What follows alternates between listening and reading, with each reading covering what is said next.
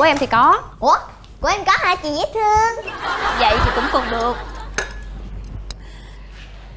Cho bạn của em nè. mẹ ăn nữa. Khui.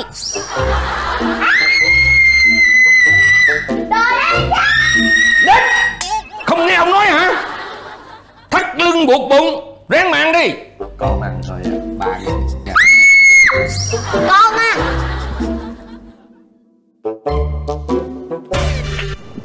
Có luôn nè. Dừng lại. Không được đâu. Chào chị. Sao vậy chị? cậu không có in ở đây được đâu. Chị phải cho em biết lý do chứ. Tại vì in 100 tờ thì nhiều quá còn tốn tiền mực tiền điện nữa. Không có được đâu. Cái đó thì có đáng bao nhiêu? nhà mình đang trong thời kỳ thắt lưng buộc bụng nên in 100 tờ là không có được. Với lại lỡ không biết được thì sao hả? Xin lỗi cậu nhiều nha. Của ai nhà nấy in nha. Làm sao không biết được? Không sao đâu không có được đâu. Cẩn thận vẫn hơn mà.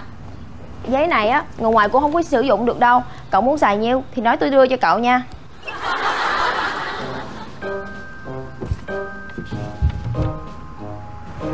Nhà ông mới bán cho chị hả? Là sao? Tôi tưởng chị chủ nhà không đó. À không phải.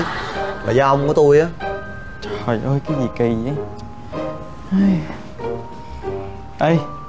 Điện thoại tôi hết pin rồi Mấy cho mượn dây sạc được không Ở đó đó. Ý không có được đâu. Của ai nấy xài nha. Rồi Của ai nấy xài đi.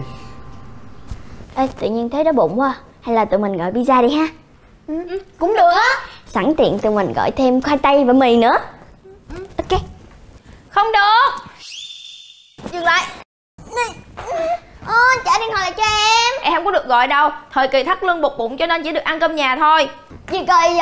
Không cho ăn sườn rồi bây giờ không biết cho gọi pizza nữa. Cơm nhà thế mà gây cho heo heo nó còn chê á. Nhưng mà đó là lệnh của ông mà cho nên em không có được gọi pizza đâu. Nè mấy đứa ăn đỡ cái này đi chị mới chiên ngon lắm á. Nếu như em không thích ăn thì sao? Nè ăn thử đi ngon lắm á đi làm cái gì à? chị nói thiệt đó. Sao kỳ cục quá à. Đồ vậy heo nó mới ăn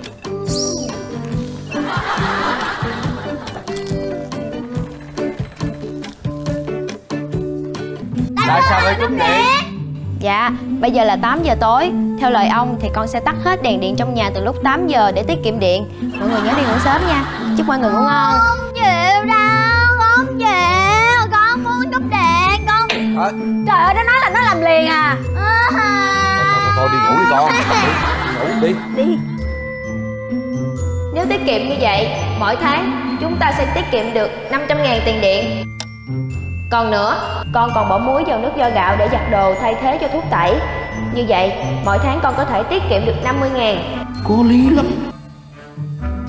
Từ 9 giờ sáng tới 9 giờ tối Con sẽ tắt toàn bộ máy lạnh trong nhà Và mọi người chỉ được bật khi đi ngủ. Chuyện cũ mình bỏ qua ngày nào đó yêu thương